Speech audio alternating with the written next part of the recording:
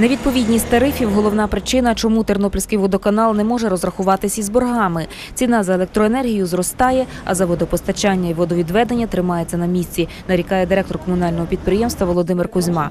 Перший значний приріст заборгованості проявився у травні. Тоді ж енергетики почали бити на сполох і погрожувати відключенням. Тенденція зростання боргів збереглася і у червні. Загальна сума недоплати за поточне користування електроенергією майже 750 тисяч гривень.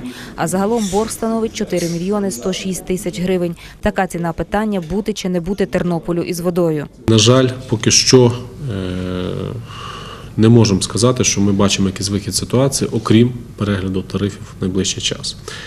Тому що є варіант, звичайно, був це отримати додаткову субвенцію з місцевого бюджету, але, на жаль, хто цікавився, знає, що цьогорічний місцевий бюджет, зокрема міста Тернополя, є вкрай незадовільний, збитковий і не вистачає коштів для оплати працівникам бюджетної сфери, не говорячи про всі інші видатки міського бюджету.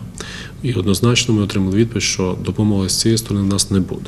Була також надія у керівництва водоканалу на державний бюджет, де передбачена субвенція на різницю у тарифах. Проте у червні вийшла постанова Кабміну, відповідно до якої можна було б скористатися тими коштами, але вона прописана так, що не усі підприємства можуть скористатися тими коштами. Тернопільводоканал у тому числі, оскільки Тернопільобленерго не має заборгованості перед енергоринком і таким чином не спрацьовує замкнута схема повернення коштів у держбюджет. Тернопільські підприємства стали заручниками власної порядності. Єдина схема виходу із ситуації, що склала зростання тарифів, теж не виглядає надійним. Національна комісія до виборів не має наміру вносити якісь зміни.